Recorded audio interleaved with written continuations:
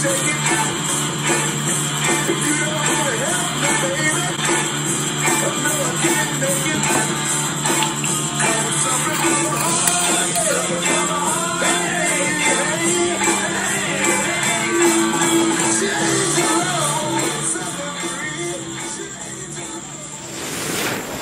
right, damn right, I got knives here with another knife review. Set this aside for a moment and talk about this. The Dirtbombs Ultra Glide in black. Great record, great band. I've seen them a few times. Fun show. This record's mostly covers. I think there's only one song actually by the band, but let's take a look at the vinyl. There you go, you got that. You got like a information sheet here. There's the vinyl. Um, Dirtbombs, yeah, I think it's, they got, they're doing covers by people like Marvin Gaye, Curtis Mayfield. I think, I think there's only one song written by Collins, which is the main vocalist, guitar player. Um, but a great record, great choice of songs, really great artwork as well. Love that. They do Kung Fu, great song. Cool picture of them on the back.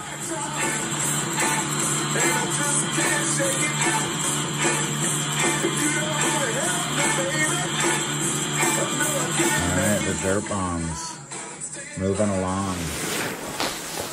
Alright, tonight I'm just drinking this. I grabbed it from the fridge. It was what's in there.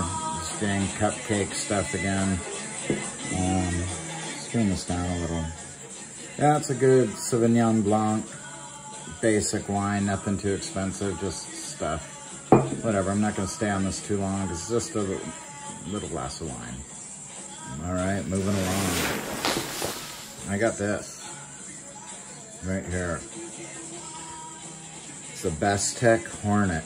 In Japan, their nests are hunted for trophies. The hornets themselves are eaten fried or steamed and even drowned in alcohol. Consuming them is said to elicit a tingly, warm sensation and increase virility. I really like this knife. I got it because I wanted something like this that I could just beat around and use at work. And this thing was just cool. I love all this jimping that it's got going on around. All back here, I like this blue spacer. The ergonomics on this feel really good. G10 handles. Get some light on that. And you can flick it open like that. And it's got that sheep's foot blade. But it's also a flipper that you can flip right here. One thing I've noticed about this is, and maybe it's just, I'm getting more used to it, but this liner lock is kind of rough on your fingers. The flipper tab is the only thing that doesn't have jimping, so it's a little slippery, but since it opens so easily, sometimes faster or slower. I mean, I think it could, might as well put a couple little pieces of jimping right there. Opens up good. Man, you know, this thing I use for cardboard and I just been tearing apart a bunch of cardboard. I've had it for a couple weeks now and I've just been testing it out, breaking down boxes and a bunch of different things. And this thing is just, you grip it, feels good, and it just burns through cardboard. Maybe I put my finger up there, but if you wanted to, you could. But basically it just cuts right through things. Sharp blade, D2 steel on that blade. And I really like this knife. I really do. For the price, I mean, it's not a crazy expensive knife. It's totally affordable and rugged as heck, and it looks really cool. I'm not big on like sci-fi kind of looking knives and stuff like that. But this one just looks like, looks like some sort of pit bull. A bulldog more than a hornet.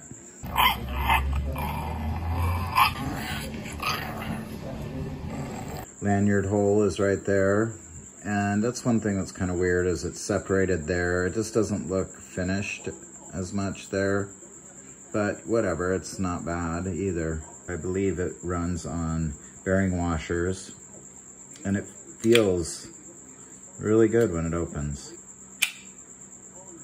Big snap to it when you do it like that. When you do this, right open. See the blade plate. You feel a little sideways there, but nothing up and down. I mean, this thing is built like a tank. Curious to take it apart sometime because it feels like when I open it a little there, it's a little shaky before it hits the lock. but then it's in there good. The blade thickness is 0.13, flat blade grind, satin finish. I liked the black version. They have like a striped reddish one, a striped greenish yellowy one, and the black just looked nice with the accent of this blue right there. I didn't much care for the other ones. They made it look more toyish, and this mm, just kept it looking. It was already like extreme in other ways. I didn't need it to go all out, and I thought this just looked a lot better. Pocket clip, it's been working all week. It doesn't feel bad. It's a tip-up carry, and about that much of it shows out. It's made in China. All right, let's take a look at some measurements here. Overall length is 8 inches. Blade length is 350. Cutting edge is 2.875. The handle length is 4.5. All right, let's take a look at it up against some other knives. Spyderco Paramilitary 2. See, it's a big knife here because Spyderco Paramilitary 2 is pretty big handle-wise. Let's take a look at the Benchmade 940 pretty close right there. And we can look at like uh, a ProTech Malibu to see something smaller. And that kind of gives you a good idea right there. All right, let's put these away.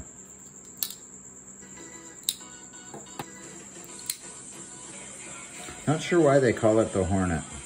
Cartoonishly fierce with large teardrop shaped eyes. I read something about the fearlessness of a hornet. It's the largest hornet in the world. The female worker hornets can grow to about an inch and a half long. Looks more like a rhinoceros.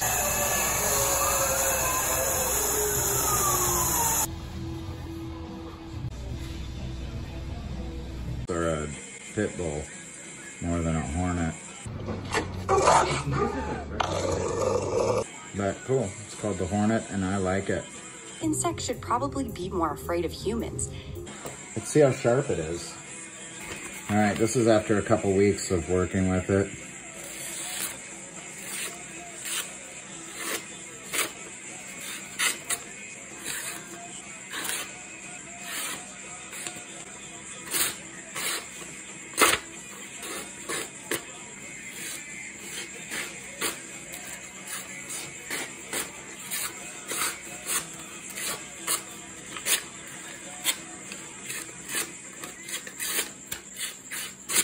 All right, not terribly sharp, not terribly dull. I probably just need to touch it up a bit. I mean, I really have been using it all week and I didn't do much. I did wipe it down right before, but I didn't sharpen anything yet. And you can, I don't know if you can see, but it's a little scratched up already. Let's get this out of the way. Like I said, I've been working with this all week.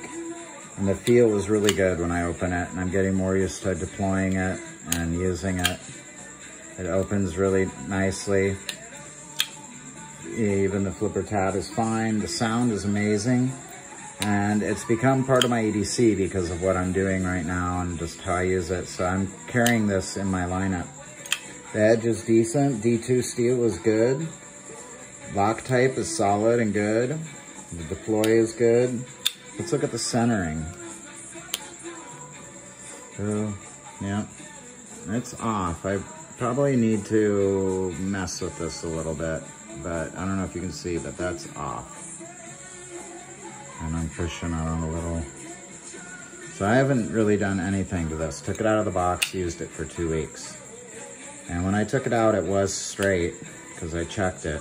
But since I've been using it, and I didn't check it right before the video or adjust it, it's kind of heavy, 5.48 ounces. I've been having this in my pocket and it's a little bit bigger and heavier than what I'm used to. And I don't like a really light knife because it's just kind of not even there.